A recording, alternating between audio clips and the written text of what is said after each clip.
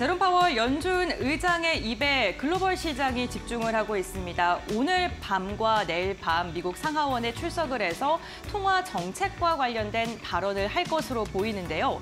글로벌 증시 전반적으로 경계감이 짙어지고 있는 가운데 우리 증시 역시나 뚜렷한 방향성을 보이지 않고 있는 모습입니다. 네, 이렇게 수급 측면 안에서도 지수 측면 안에서도 변동성이 다소 보여지고 있습니다. 이럴 때일수록 조금 더 탄탄한 실적이 좀 기대가 되는 기업들에 집중해보자라는 이야기를 계속해서 전해드리고 있는데요. 저희는 또 잠시 후에 이 통신사, 이 실적에 대한 기대감이 강력한 부분 어떤 부분일지 이슈 관련해서 체크해보도록 하겠습니다.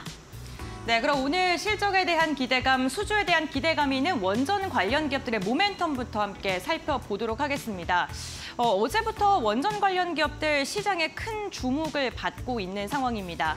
30조에 달할 것으로 예상되는 체코 원전 수주의 우선 협상 대상자가 다음 주에 발표될 전망이기 때문인데요.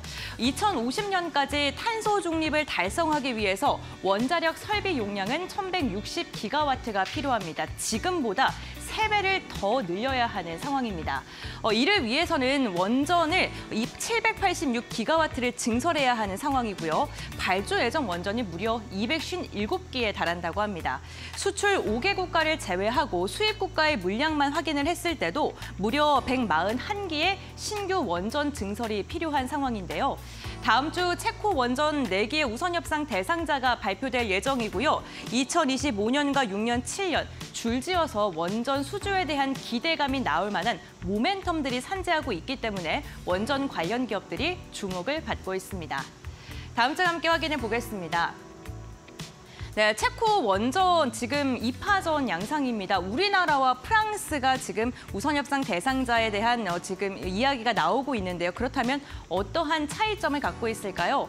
국내 제품들 가성비가 좋다라는 이야기 정말 많이 들어보셨을 겁니다. 프랑스랑 비교했을 때 가격이 절반 정도 더 저렴한 것으로 확인되고 있고요. 어, 프랑스와 비교했을 때 상대적으로 경험이 더 많다는 것도 장점으로 꼽히고 있습니다. 예, 다만 프랑스 같은 경우에는 연료 사이클의 공급이 가능합니다. 사용한 연료를 재사용할 수 있다는 건데 우리나라는 기술적으로 이 부분에 어려움을 겪고 있는 것으로 확인되고 있습니다. 외교와 안보 부분에서 러시아와 중국을 견제한다는 점은 동일했었지만 프랑스가 유럽에 있는 국가이기 때문에 체코 원전 수주에서 상대적인 강점이 있었습니다. 예, 그런데 이 프랑스가 프랑스 이 업체가 러시아와 협력을 하고 있다는 소식이 언론에서 보도가 되고 있고 이로 인해 우리나라에 대한 수주 가능성이 더 높게 점쳐지고 있습니다. 이러한 기대감 속에 두산 에너빌리티 오늘 50여 조 신고가 돌파했는데요. 그렇다면 국내 기업들, 원전 기업들 지금이 고점일까요? 지금 앞으로의 위치는 어떻게 바뀔까요? 글로벌 기업들과 비교했을 때 현저하게 낮은 국면에 있는 상황입니다. 어, 미국과 캐나다 원전 기업들 꾸준한 우상향 곡선을 그리고 있는 반면에 우리나라는 원전 기업들 살리기에도 불구하고 지지부진한 움직임, 이격이 점점 더 벌어지고 있고요. 원전 관련 기업들 대표적인 다섯 가지의 기업을 보더라도 지리한 횡보 구간을 이어가고 있는 상황입니다. K원전 수주 낭보와 함께 다시금 날아갈 수 있을까요? 기대해 보겠습니다. 다음 시그널 신유정 앵커가 전해드립니다.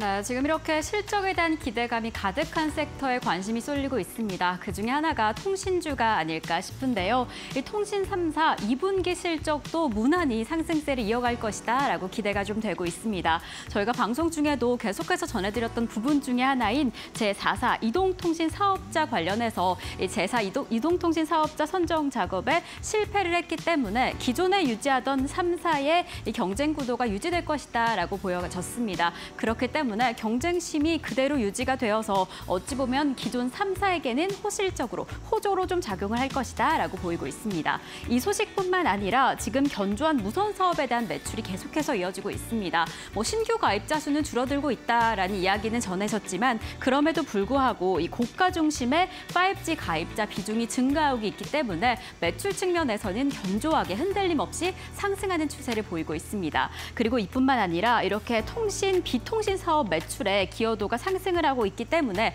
특히나 신사업 부분 안에서도 성장세가 탄탄하게 보여지고 있는데요. 지금 이러한 기조 덕분인지 2분기 실적도 이 기존의 기조대로 계속해서 상승할 것이다. 이 영업이익 통합해서 이 1조 원은 뭐 시원하게 뛰어넘을 수 있다라는 호실적이 전망되고 있습니다. 그래서 지금 이 신사업 부분의 성장 부분에 조금 더 주목해 보시면 좋을 것 같은데요. 이 신사업 부분에 대한 기대감을 가득 끌어올린 게 바로 이 외국인 투자자의 지분율입니다.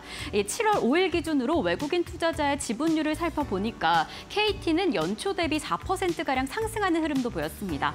이 통신주는 대표적인 배당주이기 때문에 이 배당 낙일 이후에 이 외국인 투자자의 지분율이 보통 떨어지는 흐름을 보여왔는데 이번에는 좀 다른 흐름을 보였던 겁니다.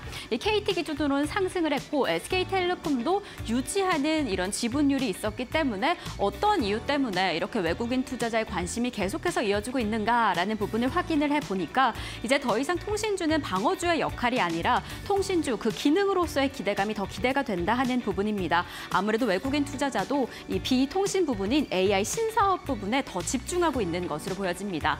그래서 이제 이 통신주의 방향성은 AI 신사업 모멘텀이 될 것이다라고 보여지는데요. 이 각 통신 3사가 어떠한 부분으로 노력하고 있는지 한 부분씩 좀 체크를 해보겠습니다. 이 아무래도 시간이 가면 갈수록 AI 시대가 더 열릴 것이고 AI가 확대가 되면 데이터 사용량이 늘어 날 것이다. 그래서 데이터 센터, 클라우드 활용도가 지금 증대됨에 따라서 이 네트워크의 중요성이 정말 계속해서 부각이 될 텐데요. 이러한 네트워크의 역할을 통신 3사가 해주지 않을까라는 기대감 가득합니다. 이에 통신 3사가 모두 노력을 하고 있습니다. KT는 한국형 AI 그리고 클라우드 서비스를 개발하겠다라는 의지를 일찌감치 밝혔고요. 그래서 기존부터 이 마이크로소프트와 함께 협력 파트너십을 체결한 상황입니다. KT뿐만 아니라 SK텔레콤 측에서도 AI 차세대 데이터 센터 공급 전략을 강력하게 내세우고 람다와 슈퍼마이크로와 함께 여러 가지 협약을 체결한 사- 상황이 공개가 됐습니다. 지금 사실 KT와 SK텔레콤보다는 조금 느리지만 LG U+ 역시나 이 AI 사업에 대한 구체화된 전략을 밝혔기 때문에 이러한 방향성이라면 기존에 가지고 있던 매출에 이 통신 3사의 신성장 구조가 더 탄탄하게 보여지지 않을까라는 기대감이 되고 있습니다. 아무래도 통신주는 대표적으로 고배당 통신주이기도 하고 최근에 밸류업 모멘텀까지 더해졌는데 AI 신성장까지 더해진다라고 한다면 이번 실적뿐만 아니라 흐름을 계속 기대해야 되지 않을까라는 생각이 듭니다. 그렇다면 통신주 주가와 함께 어떠한 흐름을 가져가게 될지 계속해서 살펴보시면 더 좋을 것 같습니다.